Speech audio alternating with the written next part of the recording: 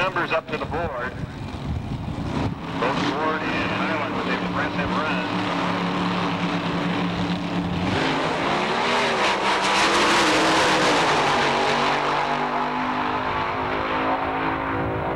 In a 648, 648 to a 667 speed of